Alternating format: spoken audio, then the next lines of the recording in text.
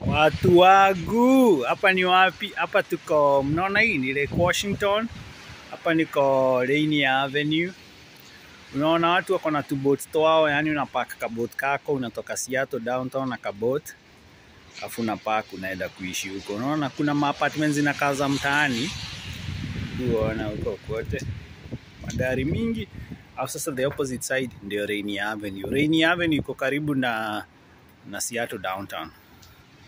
So watu wangu, Marekani nawangojea, maybe utakuwa na kabot kamoja pale hivi. Unaona ile Washington inakwanga kubwa, imeenda all the way Seattle, kuna maji mingi.